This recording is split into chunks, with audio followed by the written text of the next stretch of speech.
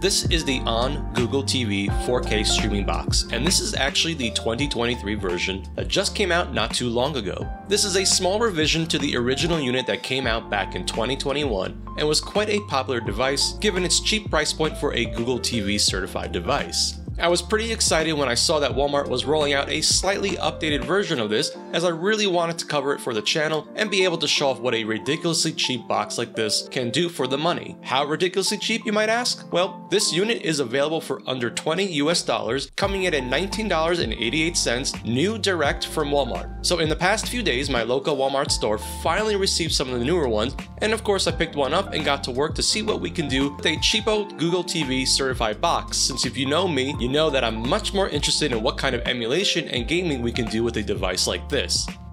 Now, if you aren't familiar, Onn is essentially Walmart's own brand of electronics, and they have all sorts of products ranging from tablets to accessories. Just like Walmart always does, the plan is to undercut their competitors, but surprisingly, this is a pretty capable and decent box. Unfortunately, I don't think this one will be available for my viewers outside of the US, but hopefully you'll find this interesting to see what a piece of hardware can do for such a low price point. Now, what makes this box stand out is that it is an officially certified Google TV product, unlike a lot of the questionable TV boxes that you see on Amazon and other marketplaces. This means that the device will come with Android TV out of the box, and in this case, the Onn box ships with Google TV OS 12. So hang on for a moment, and let's talk about the specs quickly before we unbox this thing. This will allow us to see what's different from that first generation unit from 2021. As I mentioned, this is available for only $19.88 and because it's an Onn product, will only be available at Walmart stores and the Walmart website. The 2023 model comes with an Amlogic S905Y4 with 4 Cortex-A35 cores running at 2 GHz with a Mali G31 GPU.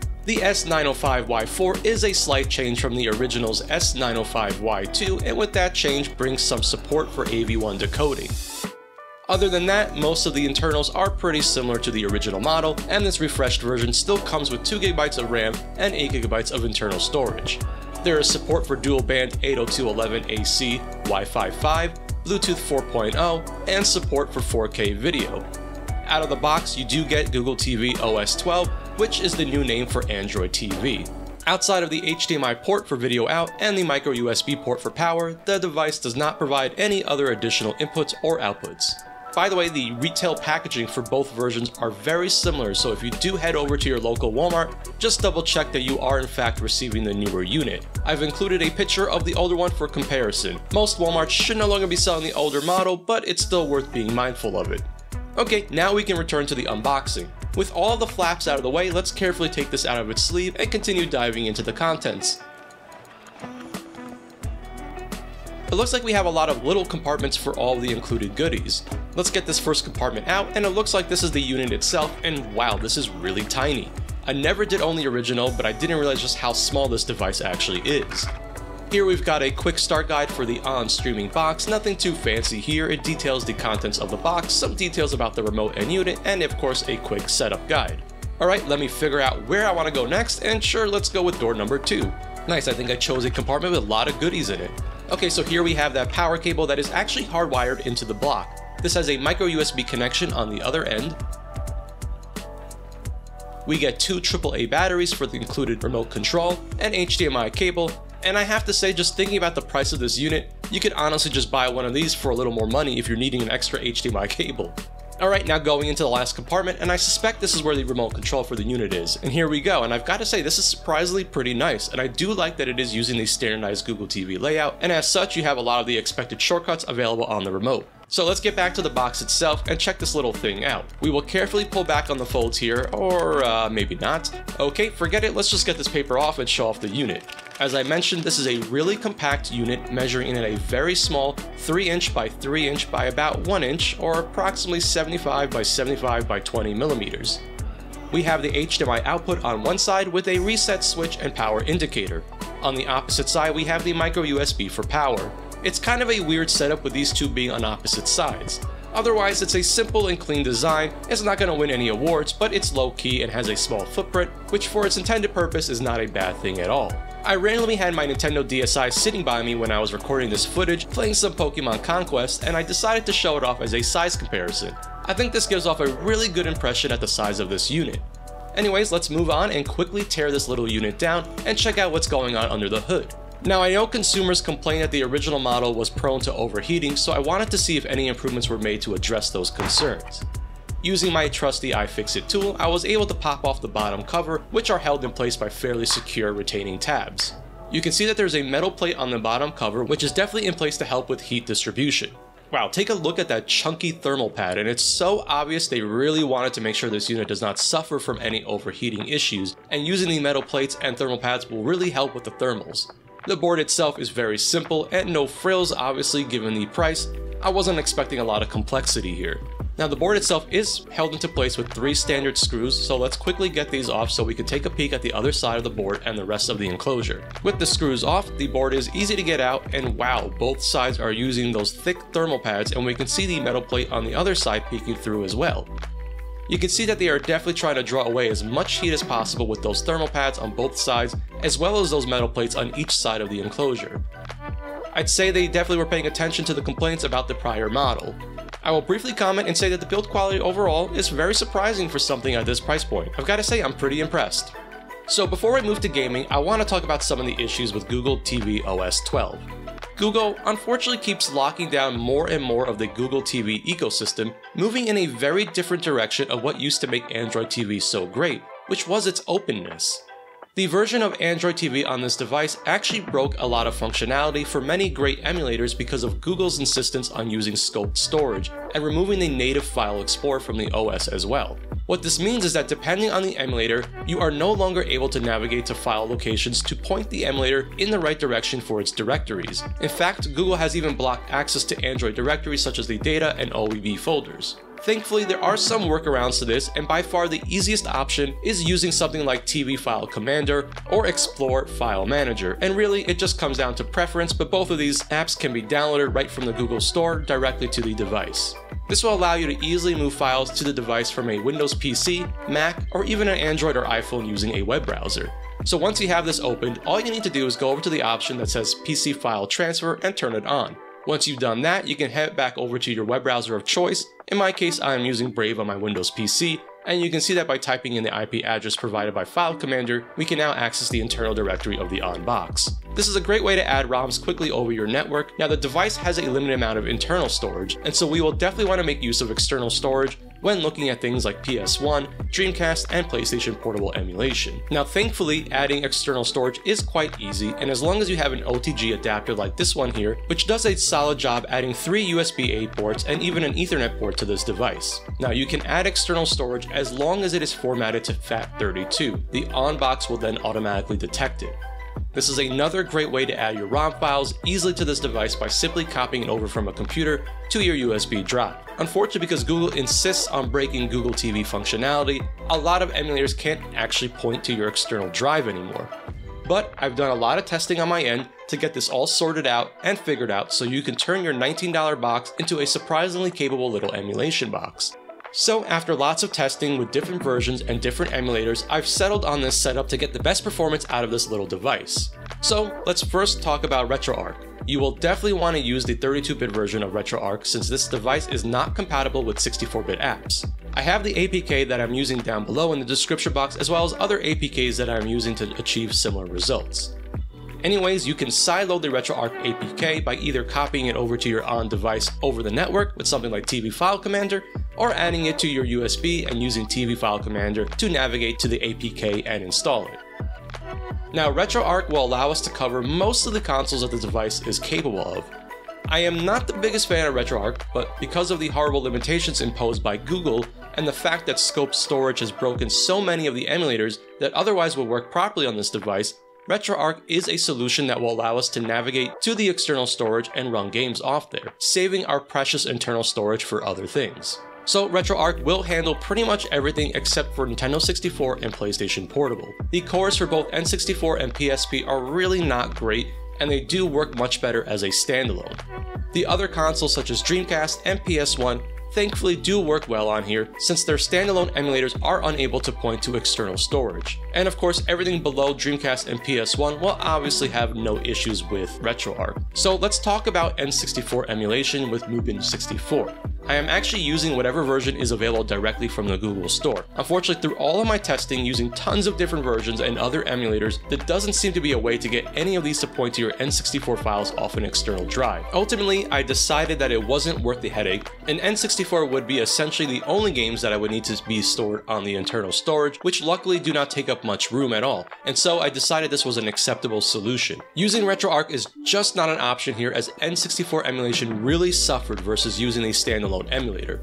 So for N64 emulation, I definitely recommend using a standalone emulator and loading your games off the internal storage. There's not much to set up here, I simply created a folder called N64 on my internal storage, which I created using File TV Commander and then copied over ROMs over my network using the browser method with File TV Commander. The games are very small and so it copies over very quickly.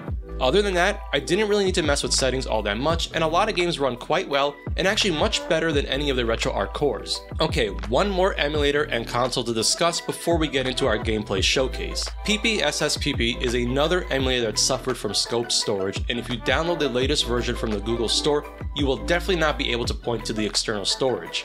This workaround solution should work for any other Google TV OS 12 device such as the Chromecast with Google TV.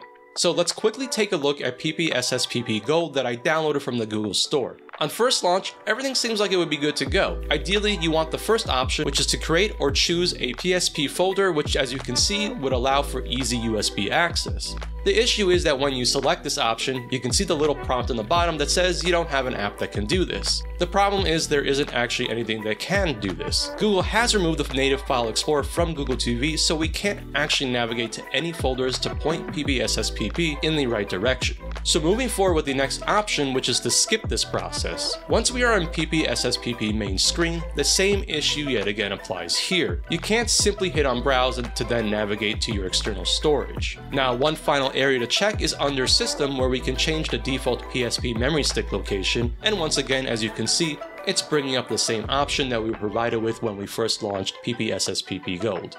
So understanding the problem now, what is the solution for this? So, like the other consoles, I did a lot of testing and found that using older versions of the emulator allows you to trick Google TV into giving us access to the external storage because the older apps were designed for an older version of Android TV and therefore require legacy permissions. And so by allowing access to the drive, we can then run all of our PSP games off that external drive, which is definitely something we want to do given the size of some of these games. So using the APK I have provided down in the description box, and once sideloaded and installed, the first prompt you will see is to allow PPSSPP access to photos, media, and files on your device. This is something that the version off the Play Store does not do, and only older versions of PPSSPP will do because of its legacy support. Now on the main screen, you can see that the folder is storage forward slash emulated forward slash zero which is actually the internal storage on this device, and the same issue exists here where we can't simply navigate up to the external drive and then search for our games that way.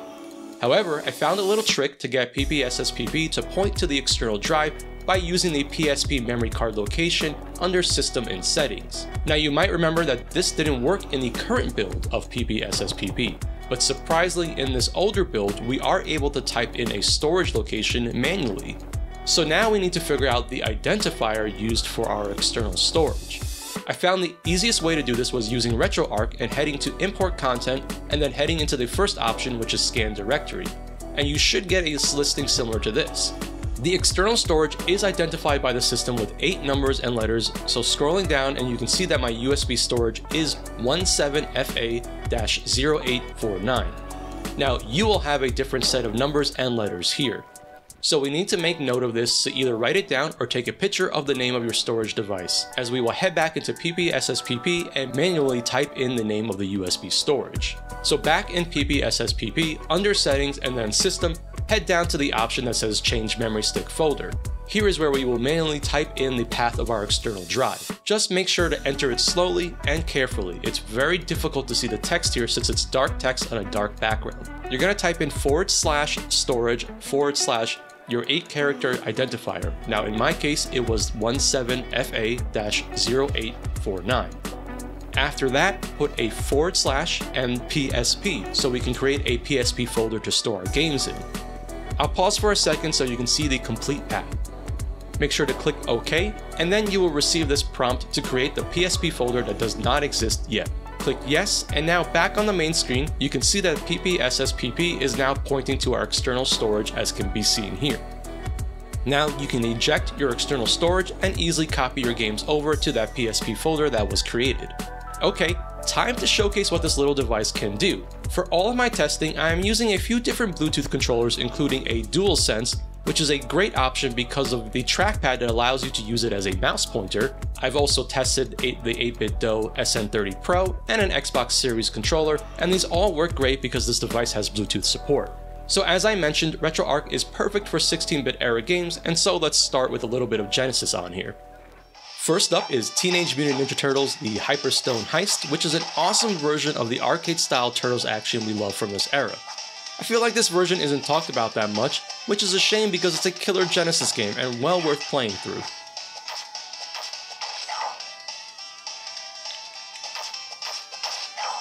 And of course, I can't show off Genesis without a bit of Sonic the Hedgehog 3, and please excuse my absolutely trash skills at this game. For whatever reason, I am terrible at the Genesis era Sonic games, but absolutely love the character, art, graphics, and music. Go figure. As you can see, blast processing is in full effect here, and Sonic is running as fast as he's supposed to.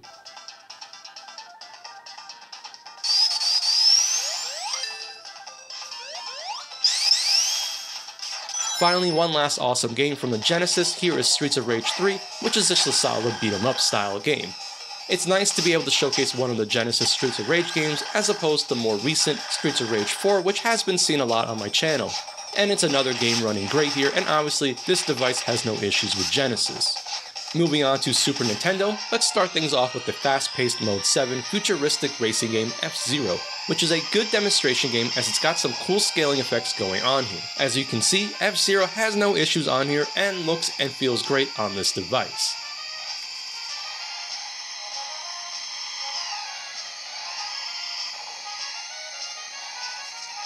Here's another Mode 7 racing game and one of the most iconic games of the Super Nintendo era and the start of this incredibly popular franchise. Here is Mario Kart and just like F-Zero is running great and is such a blast to play.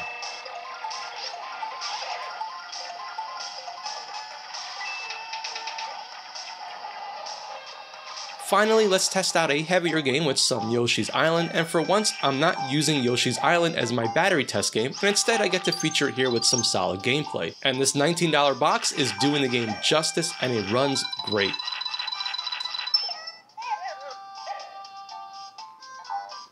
So let's hop a generation over and check out some PlayStation 1. And once again, I'm sticking to RetroArch since the standalone EPSXE does not allow me to use my external storage. We'll start light with a shmup I've featured before, and this is Thunder Force 5, and as you can tell, the PS1 core for RetroArch is having no issues handling emulation. PS1 overall should be very solid on this box, and it's just insane to think that a box that costs this much is capable of doing so much. Next up is one of my favorite racing games, and one that I have definitely featured before. Crash Team Racing is a great kart style racing game from the brilliant minds at Naughty Dog, and this one is running smooth, fast, and as always, an absolute blast to play.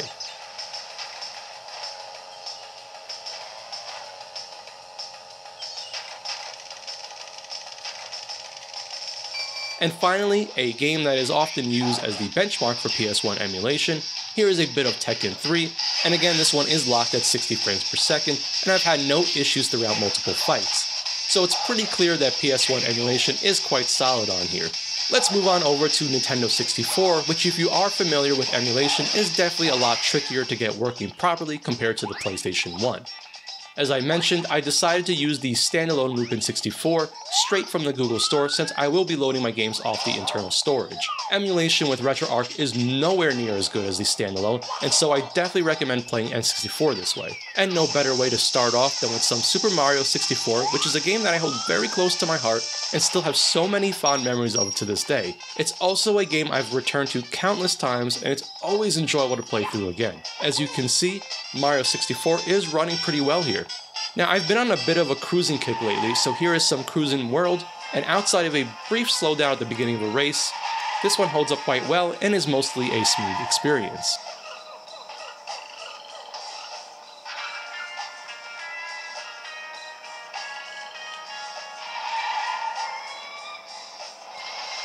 Finally, hands down one of my favorite racing games on the console, and I'm still blown away by those water physics. Wave Race 64 is another that runs as intended, just like it did on the original console.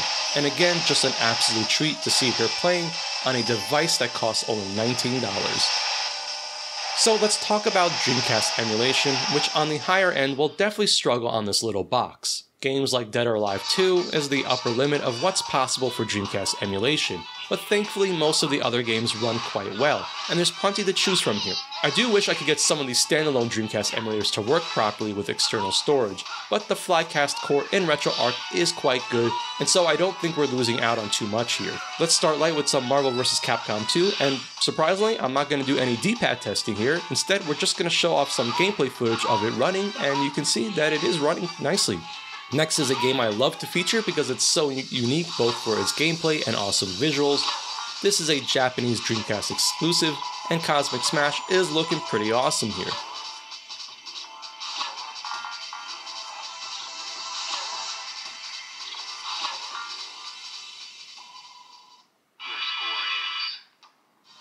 Finally, we have to show off some Soul Calibur, which is one of the best games from Dreamcast, and this is just a smooth 60 frames per second throughout.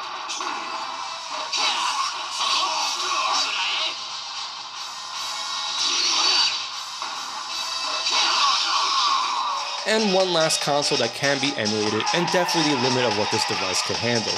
However, surprisingly, PSP emulation is still quite good here, and obviously much more demanding games will either need some tweaks or frame skipping, but again the PSP library is massive and there's certainly plenty that runs quite well. And using my method to get external storage working, we can use the standalone PPSSPP emulator and get as much performance as we can out of this.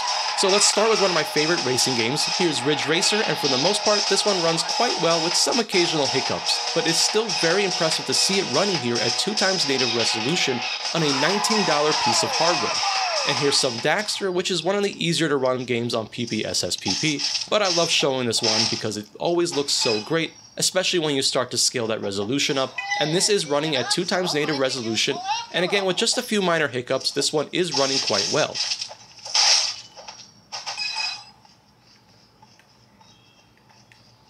Finally testing the absolute max that this piece of hardware can handle, I decided to run God of War Chains of Olympus. And here we have it at native resolution with the 30 frames per second cheat, and honestly, I can't believe it's running as it is here. You can tell that it's definitely the limit of what this $19 box can handle.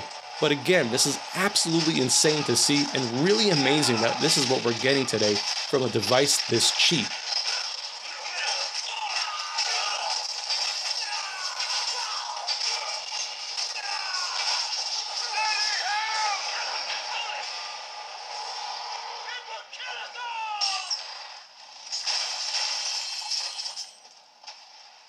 Now I will quickly say that because this is running on the Google TV OS, we obviously have access to most of the streaming services such as Netflix, Hulu, Disney Plus, and all of the other countless options, including the ability to play games off the Play Store. Unfortunately, just like its counterpart on Android OS for phones and tablets, it's almost impossible finding anything of value and worthwhile in this interface. I don't understand why to this day Google has still not figured out how to properly curate their library of content. Now this device has access to quite a number of games thanks to that Android support, but almost anyone who buys one of these will probably never know that. So I am a subscriber to the Play Pass and you can see that a number of games from that service are available here to download. So let's quickly test the game that I've downloaded directly from the Play Store. Again, outside of pure chance, you almost won't know that some of these games exist for this device. So here's Rush Rally 2 and this one will automatically scale to the device device and runs quite well on this $19 box with its full controller support.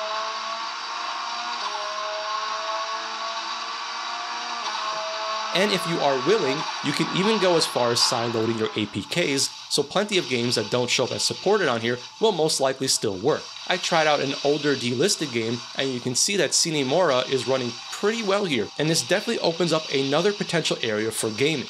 And finally, another great use for a device like this is to use it as a streaming box for gaming such as PS5, Xbox, and of course from your local PC. So first let's test some PS5 local streaming using the PS Play app with God of War Ragnarok, and this experience is really good. My PS5 is hardwired to Ethernet, but right now I have the Onn using wireless and it works very well. Now if you want to have an even better and more stable connection, you can use an OTG adapter like the one I have here and go with Ethernet to have a fully hardwired solution. However, I wanted to test wireless on this box, as I suspect that most will have it set up this way. And as you can see by the footage, the experience is very solid.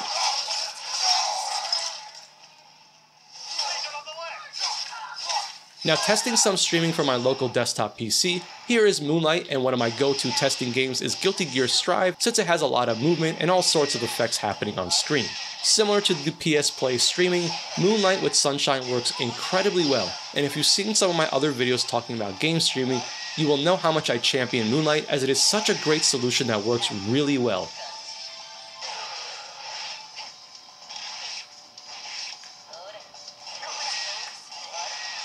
I don't know what it is, but I'm always drawn to cheap and underpowered technology. I love seeing what we can do with tech on the lower end, and I really had a lot of fun messing around with this little unit. For the asking price, it's an absolute steal just as a simple 4K media streamer for viewing content such as Netflix and Hulu but with a little effort, you can do even more with it, and that really makes us even more interesting for its price point. These are so cheap, and it allows you to essentially add a compact and understated emulation box in every room of your house. In addition, being able to stream from your console or PC, and suddenly it's like having a PS5 or your PC anywhere you go for not a lot of investment. In fact, I will be replacing my Chromecast with Google TV with this device since it's actually a slightly better performer, and now that I have it configured the way I like, it will make for a neat little box. One thing I hope to look into is one of the readily available front ends and see if I can get any of them to work with the mess that is Google TV OS 12. But I really wanted to get this video out, and so that will have to be a project for another day. I'm hoping that some of the information in this video will be helpful for those that are determined and willing to turn this $19 box into something more. I think based on what we've seen, it's quite evident that it can definitely be pushed to do more than it's intended. So what do you think about this Onn 4K streaming box? Were you surprised by the performance and capabilities? Will you be considering one for your home at its price point? Let me know down in the comments and I hope to return with more videos on other random and cheap tech that can be utilized in different ways. Please let me know if you enjoy seeing this kind of content on the channel. And as always, I am the Retro Tech Dad, and thank you so much for watching.